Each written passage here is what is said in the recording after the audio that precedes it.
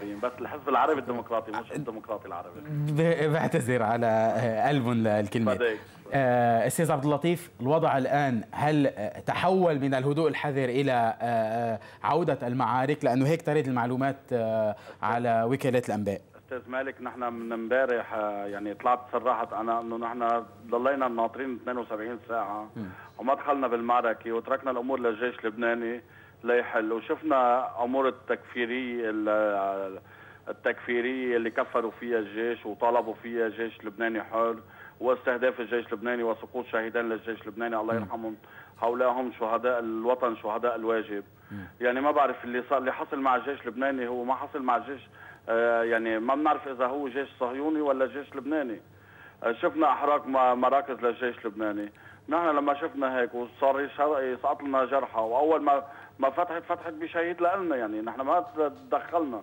آه، لقينا من الأجدر أنه نحن ندافع عن كرامتنا وعن أهلنا يلي نحن مؤتمنين على طائفة كاملة مثل ما هي. أوكي. وحضرتك وحضرتك بتعرف بجبل محسن أنه نحن نحن شارع بطرابلس.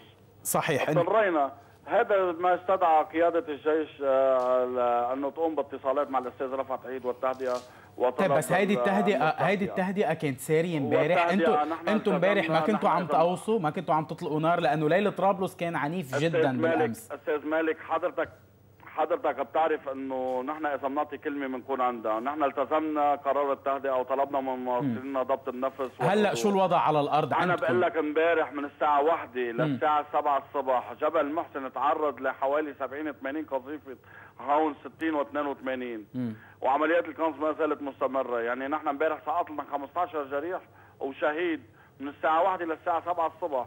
ونحن ما زلنا ملتزمين القرار.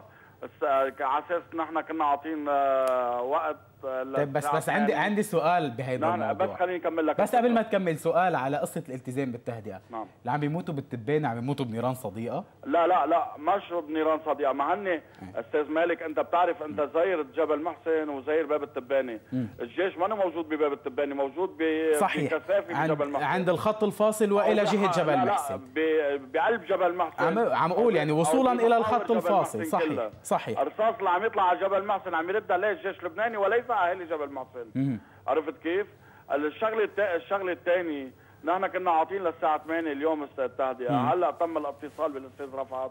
واتمنوا عليه أنه يتأجل الموعد، نحن في عنا في عنا موقف الساعة 12 نحن حيجتمع المجلس. ال- ال- المكتب السياسي للحزب العربي نعم. الساعة 12 وعدا وقع حاطلع صرح أنا بالمعطيات بانتظار لك معطيات. إيجابية إن شاء الله يا رب. بترجع الأمور اللي بتهدأ بترابط إن شاء الله يا رب شكرا لك أستاذ عبد اللطيف صالح على هذه المعلومات وبانتظار موقف الحزب العربي الديمقراطي من بس بدي اوضح شغله تفضل. إذا في مجال تفضل بشكل يعني معلش امبارح كان الأجدر بنائب الامي محمد عبد اللطيف كبارة يلي عم يجمع عنده قادة المحاور معناتها هو له يد بالموضوع كان الأجدر منه بدل ما.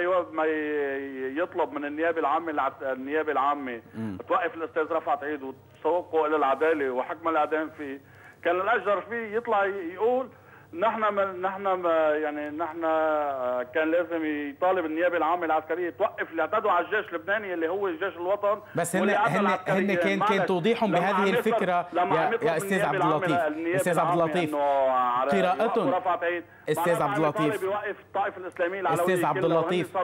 حكم الإعدام فيها موضوع موضوع كان محصور بفكرة تهديد أمن طرابلس تهديد أمن مدينة إنه. أستاذ رفعت قال أو نقل عنه؟ هيك أستاذ مالك أستاذ مالك بدي أقول لك شغلة بدي أقول لك شغلة نحن لو منا معتبرين طرابلس مدينتنا وهي وهي. وهن أهلنا وكل شيء نحن ما كلنا التزمنا التهدئة مع الجيش اللبناني ونزلنا عند رقبه الجيش اللبناني نعم. هيدول أهلنا نعم. ونحن ما, ما يعني إذا بينضاموا نحن بننضام نعم. أنا بقول لك شغلة معلش هلا هل أهلنا بباب التباني هن ضحية مثل أهلنا بجبل محسن هلا القرار ما بقى لا للنواب ولا للزعماء ولا لحدا هلا القرار بطرابلس للمجموعات التكفيريه المسلحة اللي هربت من سوريا وجبهه النصرة والجيش السوري الحر نعم. هن اللي عم يتصرفوا؟